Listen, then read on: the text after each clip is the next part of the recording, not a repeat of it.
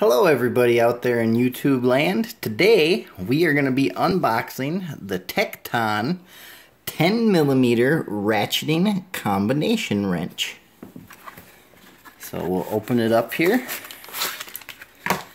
and see what it looks like. So this is what we get. It's the Tekton straight ratcheting combination wrench.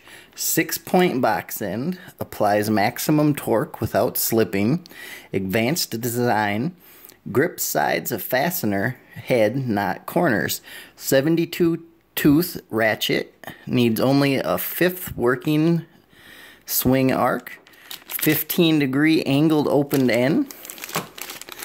So I got this because I got sick of working in tight places and trying to get the wrench in there. So what you do is you get this on the head of your bolt